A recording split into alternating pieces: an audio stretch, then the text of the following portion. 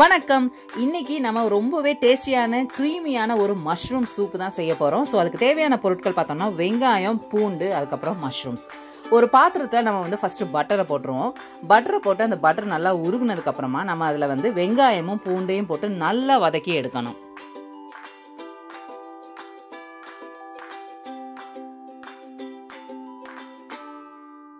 அது நல்லா வதங்கினதுக்கப்புறம் நம்ம வந்து மஷ்ரூம்ஸை அதில் போட்டால் அதையும் சேர்த்து நல்லா வதக்க போகிறோம் அதோட கொஞ்சம் உப்பையும் பெப்பரும் ஆட் பண்ணி நல்லா வதக்க போகிறோம் உப்பு ஆட் பண்ண கொஞ்சம் நேரம் கழித்து நம்ம பெப்பர் ஆட் பண்ணால் போதும்.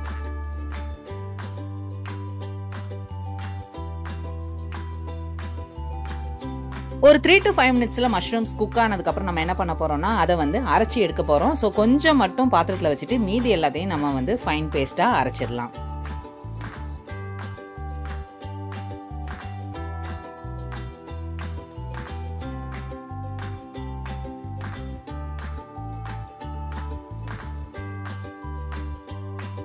தண்ணி ஆட் பண்ணதுக்கப்புறமா நம்ம வந்து கார்ன்ஃப்ளவர் ரெண்டு ஸ்பூனை வந்து தண்ணியில் கலக்கி வச்சுருக்கோம். அதையும் உள்ளே மிக்ஸ் பண்ண போகிறோம் மிக்ஸ் பண்ணிவிட்டு நல்லா இந்த கலவையில் போட்டு கலக்க ஆரம்பித்தோன்னா நமக்கு க்ரீமியான யம்மியான திக்கான ஒரு சூப் ரெடி ஆகிடும் இந்த சூப் வந்து குழந்தைங்க ரொம்பவே விரும்பி சாப்பிடுவாங்க. குழந்தைங்களுக்கு நீங்கள் வந்து இடியாப்பத்துக்கு கூட இது வந்து சைட் டிஷ்ஷாக நீங்கள் கொடுக்கலாம். நல்லாவே அவங்க என்ஜாய் பண்ணி சாப்பிடுவாங்க.